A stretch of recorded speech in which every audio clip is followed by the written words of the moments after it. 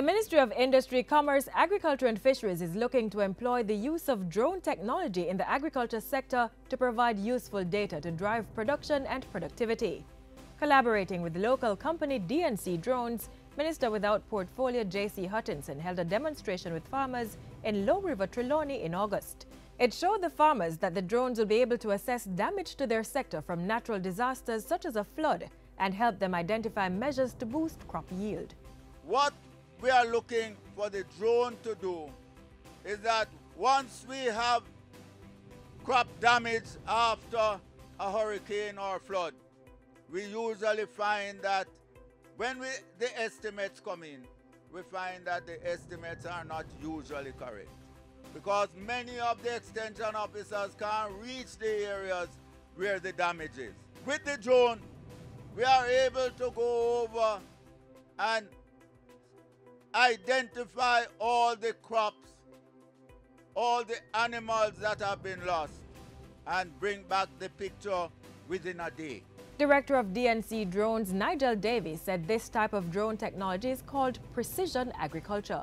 Which basically is collecting data in real time, analyzing that data, and then interpreting data to advise the farmer as to the status of his crop, which is basically his, his nutrient contents in his, in his crop, the moisture content in his field, and how much he has. Because this technology can also count the number of hills of yam, uh, potato plants, uh, tomato plants in the field. We can assess, let's say, the number of animals that died. We can measure that. We can tell you that, wait, wait a minute, that these guys had 20 acres of yam here, and we knew that Six months ago, it was 50 hills of yams. We now can say he lost 50 hills of yams. So the drone technology is used widely in disaster management. Other benefits of the drones include giving a clear picture of crops under production and identifying areas with irrigation needs and crops that are lacking in nutrients.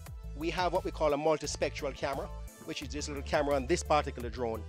And it takes pictures of the plants as you well know, plant leaves basically absorb sunlight and reflect sunlight. So this is a special camera that reject uh, infrared or near infrared, and then it can use that data using an algorithm to tell us how much nitrogen, how much potassium, how much uh, phosphorus, or the lack thereof in a plant. We also can tell you the moisture content in the field. Now, that can be done, we will be able to tell the farmer what needs to be done with his different crops.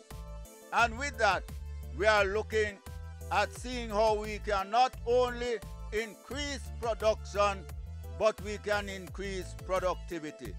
So with the technology, we are looking to see if we can bolster agriculture. The drone demonstration in Trelawny is the first of an island-wide campaign by the Agriculture Ministry to sensitize farmers about the benefits of the technology.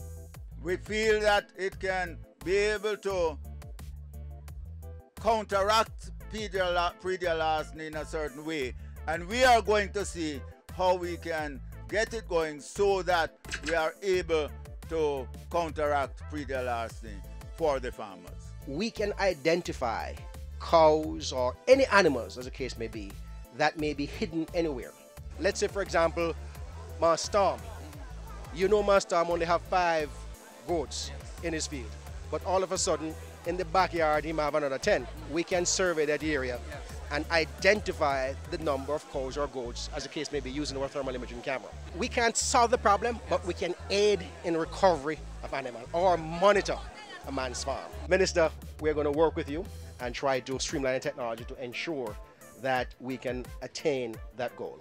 I think the drone is going to make a big difference as far as us moving forward in agriculture.